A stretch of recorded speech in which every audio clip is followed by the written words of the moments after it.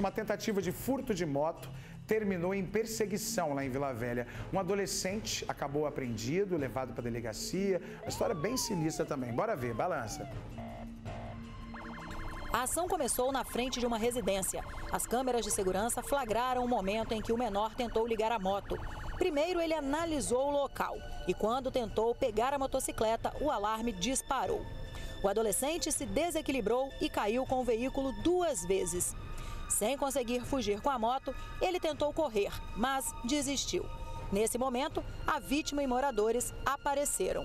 As imagens do furto foram flagradas por esta câmera que fica exatamente em frente à casa da vítima. Quando as imagens terminam, a gente vê aqui, neste lugar, a moto, o adolescente de 17 anos, o proprietário e também alguns vizinhos. Aí o menor faz o quê? Ele fala: não fui eu, era uma pessoa que estava passando por aqui, eu tentei pegar essa pessoa. Enfim, ele aproveita esse momento para fugir nessa direção aqui. Ele corre por várias ruas do bairro os vizinhos e o dono da moto atrás, correndo atrás, gritando: pega ladrão, pega ladrão.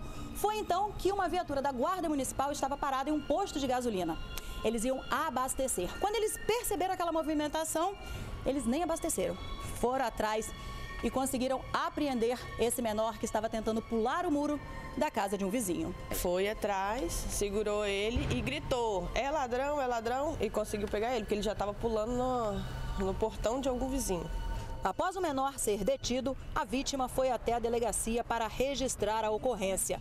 A moto é do marido de Rayane Ribeiro Martins, de 34 anos, que não pôde trabalhar com o veículo. Ela contou como tudo aconteceu. Aí ontem ele chegou e deixou a moto enquanto foi assistir o jogo.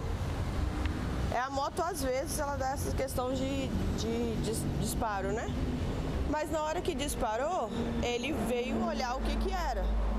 Aí tinha esse adolescente de 16 anos, com várias passagens, que já não era a primeira ocorrência, e sempre pelo mesmo motivo, passando com uniforme de escola, com a mochila, tudo tentando para lá e despistou. Aí no vídeo, que vocês conseguiram ver, tinha mais de um minuto que ele tinha tentado o furto, foi lá na frente, ficou olhando, veio, olhou para cima para ver se tinha alguém olhando no prédio. E na hora que ele conseguiu, ele não aguentou com o peso dela. Foi na hora que ela caiu. Agora a moto está aqui, parada na varanda da casa com a ignição quebrada. E o que fica é a sensação de impotência e o prejuízo. Fica aí mais um prejuízo, né? e não foi difícil encontrar outra vítima do mesmo crime. Essa senhora contou que viveu momentos de terror no centro de Vila Velha. Eu fui numa consulta médica no centro de Vila Velha. Aí quando eu estava estacionando a moto, dois indivíduos estavam se aproximando para tentar roubar minha moto. Aí passou uma viatura no momento, eles viram a viatura e correram. Aí eu entrei logo no consultório e travei minha moto.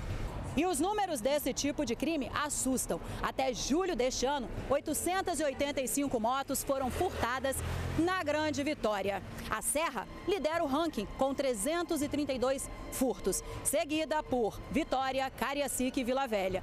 E esse tipo de assalto continua crescendo, deixando as vítimas assustadas e no prejuízo. Muito assustada, porque na hora você fica tremendo, você, você não sabe sua reação, você, você fica desesperado, entendeu?